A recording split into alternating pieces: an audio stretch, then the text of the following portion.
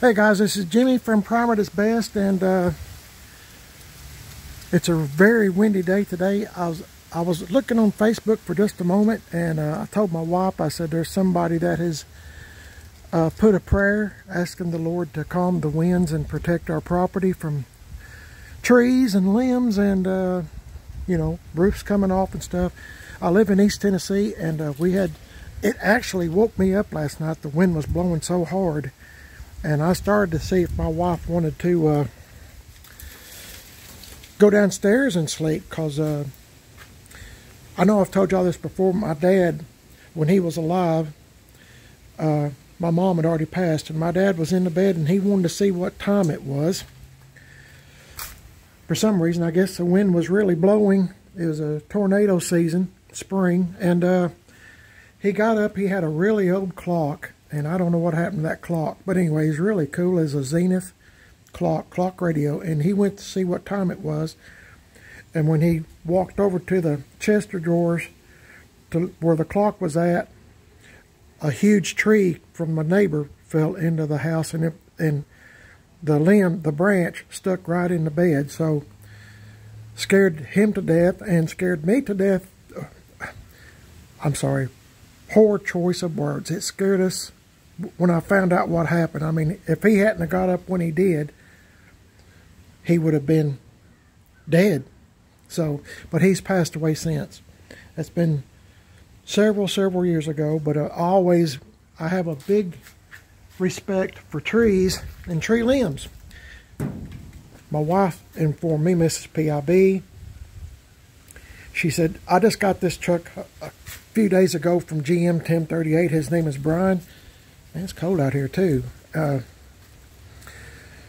it's funny, when we got the truck, it was 65 degrees, and it's way, way lower than that today, and the wind is blowing like something crazy. But uh, I was going to show you, here's the bed.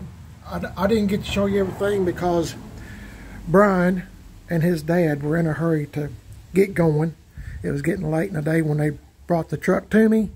So, uh, but this is the bed. I'm going to put some kind of uh, protecting over it, you know. Uh, I've had a lot of suggestions, of marine, something, you know, uh, some kind of like a clear coat to protect it. And uh, somebody else made a suggestion, don't forget to do underneath the bed where the wood's at. And I, I did remember that. but I always appreciate the help and suggestions. I truly do. When I get all this out, I'll show you the whole bed. It, to me, it's it's very nice, very beautiful. And uh, Brian like I said, you need to subscribe to his channel, GM1038. He got a torch and just went over it, kept going over it a little bit, little bit, till he got the whole bed torched. And it just looks awesome. Awesome. Anyway, uh, my the reason I come out here, I wasn't even going to come out here, but my wife said, remember, there's a box in the passenger side here.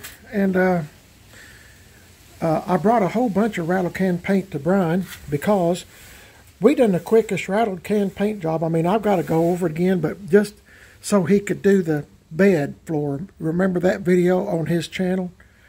Uh, I think it was on his channel, one of our channels. Uh, anyway, he, you you'll see it on his channel, I think. But anyway, uh, he didn't want. Of course, neither one of us wanted when we started painting the wheel wells and stuff not to get any paint on the wood because it's it's just so nice. So we done the fastest rattle can paint job. You'll see some thin spots here and there. I'm not done with the truck. We're, we're nowhere near done with the truck. Anyway, uh, I'm going to try to get this box out of here. Oh my goodness. Yeah, there's a bunch of There's a bunch of stuff in here. And, uh, yeah, there is some paint. So I, my wife was right. I don't need to let that freeze. So, uh, I'm going to get all this stuff out of here, guys. And uh, I'll show you what I have in just a moment. I really don't know what's in the box. It's probably nothing much. But uh, you don't ever know. So, uh, but yeah. Uh, oh, by the way, I don't think I mentioned this, but that radio that's in here, that radio, of course, you know it's aftermarket. But uh, somebody had butchered it, I get, well, you know how people do. That you know, they cut out the radio knobs and where the knobs go and all that kind of stuff. And, uh, dang, it's cold. Sorry, guys, I'm kind of shaking a little bit. Uh, I don't have a speaker for it yet. We was trying to figure out a place to put, to put, I get tickled at my own self, guys, to put the speaker.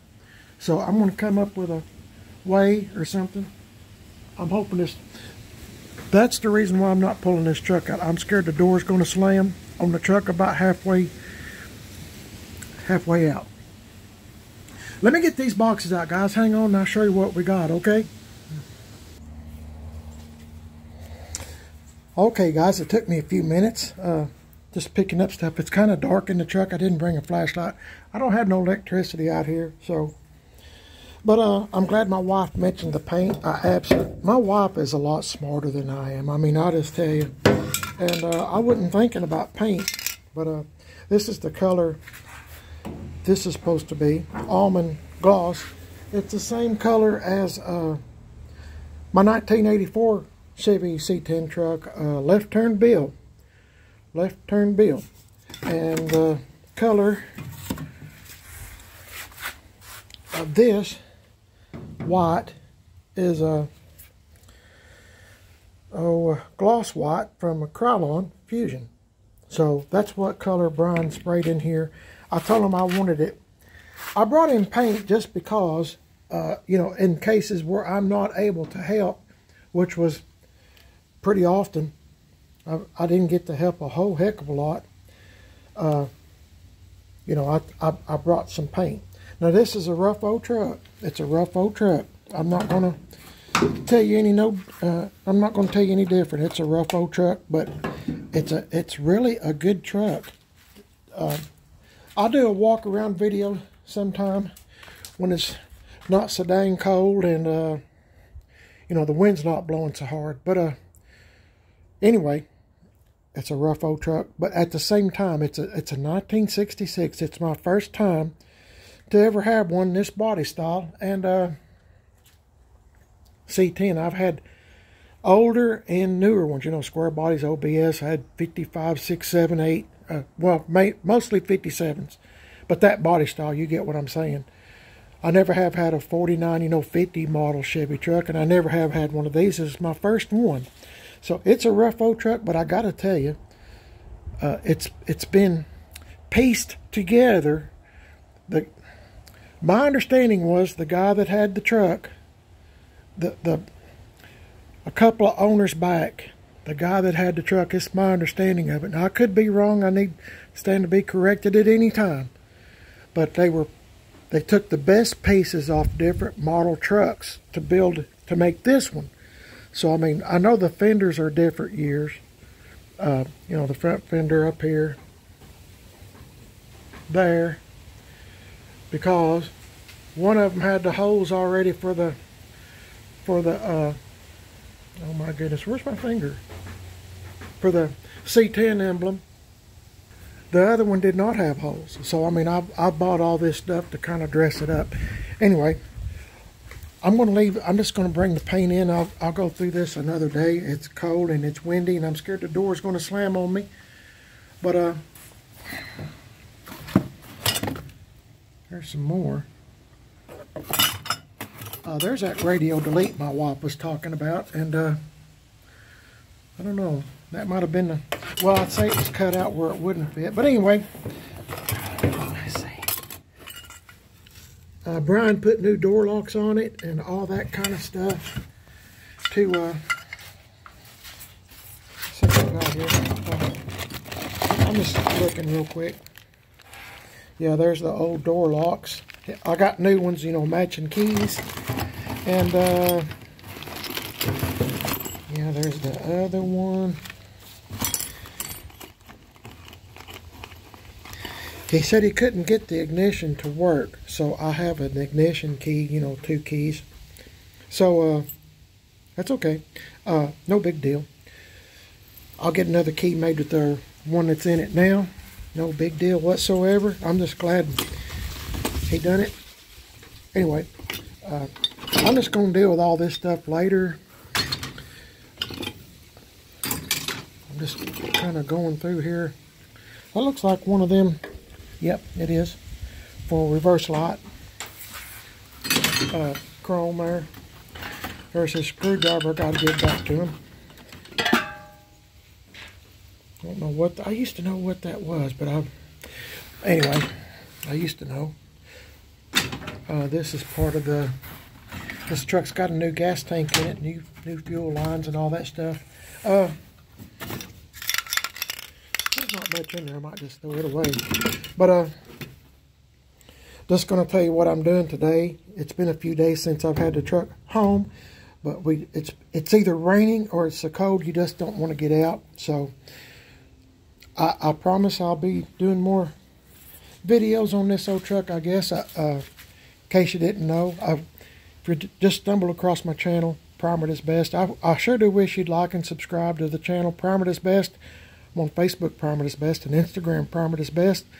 Got a second YouTube channel called Man on a Budget. I'm on Instagram, Man on a Budget One. I do things on a budget. You know, I, I that's the only way I can do things, and you know, sometimes most of the time, I mean, just all the time, I have to sell a truck in order to buy another truck. So, uh, you know, I've, I, I, you know, I, I kind of mess around with old trucks, get them to looking decent, and I'm attracted to trucks that nobody else wants or has been sitting or about to be pushed off into a ditch or, you know, going to the scrapyard. I've had all those scenarios in, in my life saving an old truck. There's something about an old Chevy or GMC truck that I'm attracted to ones that are on their last leg or are fixing to go to scrap. I can't stand to see one go to scrap. I, I see value in it. Maybe you feel the same way. If you do, you might like my channel.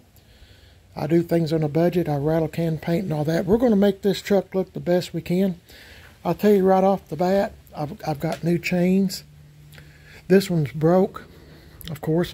This truck's been, uh, it's an old truck. It's a 66. I've got new taillight lens, new bezels. I've, I've got all this stuff and uh, we'll put it all on uh, first chance we get. I'm just waiting for warm weather. I thank you for watching the videos, guys, and uh, be sure to check out my buddy GM 1038 on YouTube. I'm waiting for Tim Dixon.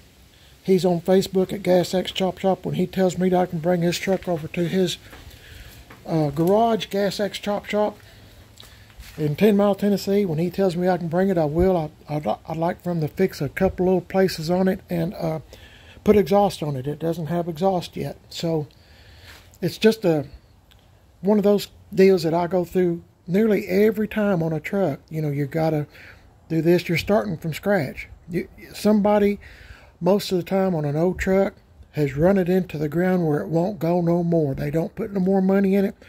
Run it till it drops, quits, whatever, falls to pieces, whatever. That's what I'm attracted to. So I'm waiting for Tim to give me a shout sometime, and he said that he would when as soon as he gets a space uh, emptied in his garage because I want it kept inside. I don't want the wood to get warped or, you know, wet. You know what I'm saying? Anyway, thanks for watching, guys. And uh, my name is Jimmy. I don't know if I said that. Uh, let me know what you think about this old 66 Chevy truck. A lot of people have already tried to give it names. Uh, I'd prefer some really good names. My goodness, some of them is really good. And I appreciate that. It uh, inspires me to keep going. But uh, I'm going to try to uh, refrain from giving this truck a name. I'll have a contest where we give this truck a name. I always name my trucks uh, just to give it more personality, make it feels like it's alive. You know, after you put so much time and money in it's kind of like raising a kid, only a lot cheaper. The, it don't talk back to you and stuff sometimes. Like anyway, y'all know what I'm talking about if you've had kids. It's a, it's a that's a full time job in itself, isn't it? But this one, I'm just kind of taking my time. We'll give it a name we'll fix it up best we can on a budget. And uh,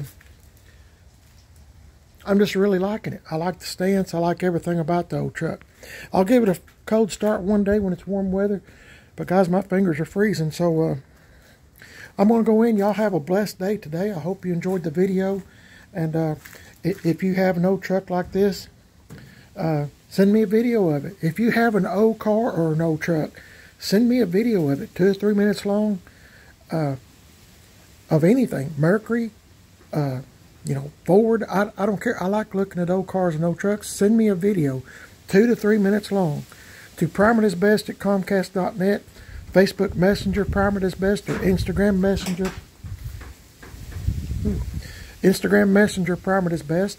Remember, do like I'm doing right now. Turn your phone sideways. You get a full screen. And please, no music or foul language. Send me a video, two or three minutes long. Just talk about it, what you're doing, or what you're going to do, or you just got it. It's just however you, whatever you want to say about it. And I'll put it on my YouTube channel for free. I'm uh, hoping somebody to send me some videos of trucks like this, you know, 60 to 60, what, 6? Yep. You know, if you send me some videos of it, you know, maybe I get some ideas here and there. Appreciate y'all's help. And, uh, Send me a video. I'll let you know when I post it so you can show your family and friends and people you don't like. I like to joke around, guys. Forgive me. Y'all have a blessed day today, and I look forward to maybe seeing a few videos now and again, you know. Uh, it doesn't matter. I enjoy watching them. My wife does too. We just sit down and watch someone's videos of what they're working on. Gives us inspiration too. So, uh, Hope you'll like and subscribe to Primered is Best, and uh, I'll be seeing y'all in the next video. If you'll like and subscribe, you won't miss nothing. And please give me a thumbs up. Helps my YouTube channel a lot. YouTube will push my videos. I'm kind of a slow-growing channel, and, uh, you know, I, I, I'd appreciate it. Y'all have a blessed day, and I'll catch y'all in the next one. Okay, guys? Stay safe, and the Lord is in charge. Please pray for others, and... Uh, Hope y'all have a blessed evening and a blessed day tomorrow. God bless you. See you later.